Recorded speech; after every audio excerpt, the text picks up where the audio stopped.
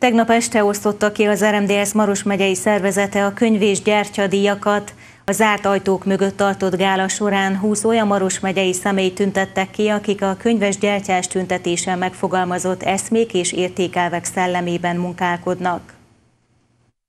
1848-49 története tele van kiváló emberi teljesítményekkel, amelyek még ennyi idő távlatából is élővé teszik számunkra a múltat. Olyan emberekkel, akik nem csak meghalni tudtak az országukért, de élni, dolgozni, küzdeni is érte. Az elmúlt évben megtapasztalhattuk, hogy a szabadság csak lehetőség. Megtapasztaltuk, hogy újra meg újra meg kell küzdenünk érte.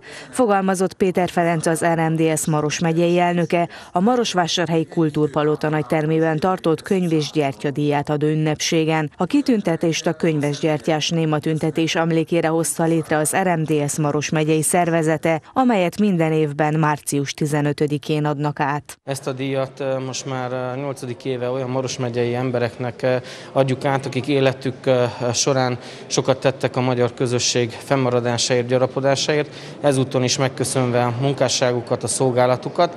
Ez a könyves gyertyadíj értelemszerűen a 90-es könyves gyertyás gyertyás felvonulás emléke előtt tiszteleg, és a tulajdonképpen február 10-én megfogalmazott értékek és elvek mentén folytatott közösségi tevékenységet méltatja. A Maros megyei RMDS díját adó gálája zárt ajtók mögött a járványügyi helyzet által megkövetelt óvintézkedések mellett zajlott. Idén a 2020-as és 2021-es évjelöltjeit is díjazták, így 20 személy részesült kitüntetésben, köztük Ferenci György is, aki a könyvesgyertyás tüntetés egyik szervezője volt 1990-ben. Engem egy nagyon-nagyon jó érzés tölte, hiszen úgy érzem, hogy azt a bizonyos 30 évet, amit a szervezet megalakulásától mostanáig próbáltunk elvégezni, annak érdekében, hogy a szervezet éljen, haladjon,